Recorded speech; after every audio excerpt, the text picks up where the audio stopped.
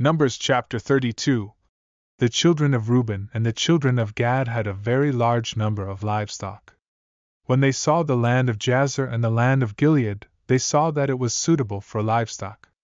So the children of Gad and the children of Reuben came and spoke to Moses, Eleazar the priest, and the leaders of the congregation, saying, Ataroth, Dibon, Jazer, Nimrah, Heshbon, Elealeh, Shebam, Nebo, and Beon. The land that the Lord struck down before the congregation of Israel is a land for livestock, and your servants have livestock. If we have found favor in your sight, let this land be given to your servants as a possession. Do not make us cross the Jordan. Moses said to the children of Gad and the children of Reuben, Should your brothers go to war while you stay here? Why would you discourage the hearts of the Israelites from crossing into the land that the Lord has given them? That is what your fathers did when I sent them from Kadesh Barnea to see the land. After they went up to the valley of Eshcol and saw the land, they discouraged the hearts of the Israelites so that they did not enter the land that the Lord had given them. So the Lord's anger burned on that day, and he swore an oath None of the men twenty years old or more who came out of Egypt will see the land I swore to give Abraham, Isaac, and Jacob, since they have not followed me wholeheartedly. Except Caleb the son of Jephunneh the Kenizzite and Joshua the son of Nun, because they followed the Lord wholeheartedly. The Lord's anger burned against Israel, and he made them wander in the wilderness forty years until the whole generation that had done evil in the sight of the Lord was gone. And now you, a brood of sinners, have risen in place of your fathers, adding more to the Lord's burning anger against Israel. If you turn away from following him, he will once again leave all this people in the wilderness, and you will destroy all of them. They approached him and said, We will build sheepfolds here for our livestock and cities for our families. But we will arm ourselves and be ready to go ahead of the Israelites until we have brought them to their place. Meanwhile, our families will remain in the fortified cities because of the inhabitants of the land. We will not return to our homes until every Israelite has taken possession of his inheritance.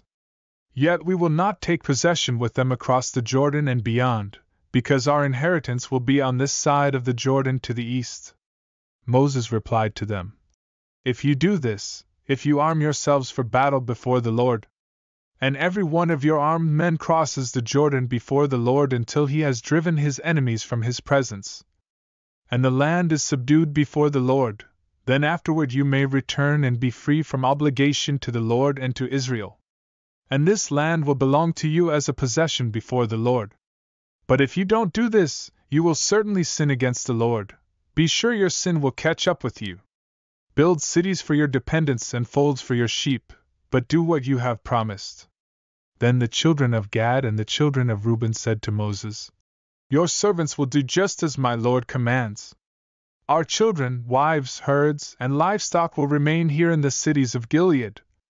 While your servants, all who are armed for battle, cross over to fight in the presence of the Lord, just as my Lord says. So Moses gave orders about them to Eleazar the priest, Joshua son of Nun, and the heads of the fathers' households of the Israelite tribes he said to them. If the children of Gad and the children of Reuben cross the Jordan with you, every man armed for battle in the Lord's presence, and the land is subdued before you, then you are to give them the land of Gilead as a possession. However, if they do not cross over with you armed, they must receive property among you in the land of Canaan. The children of Gad and the children of Reuben answered, Just as the Lord has spoken to your servants, we will do we will cross over into the land of Canaan armed before the Lord, but the possession of our inheritance will remain on this side of the Jordan. So Moses gave them, the children of Gad, the children of Reuben, and half the tribe of Manasseh the son of Joseph, the kingdom of Sihon king of the Amorites, and the kingdom of Og king of Bashan, the land along with its cities and territories, the cities of the surrounding country.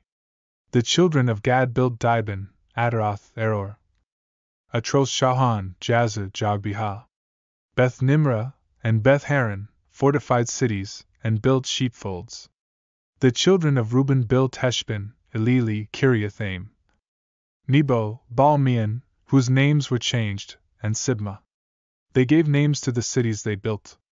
The descendants of Machir son of Manasseh went to Gilead, captured it, and drove out the Amorites who were there. So Moses gave Gilead to Machir son of Manasseh, and he settled there. Jair son of Manasseh went and captured their villages, which he called Havoth Jair. Nobah went and captured Kenath and its villages and called it Nobah after his own name.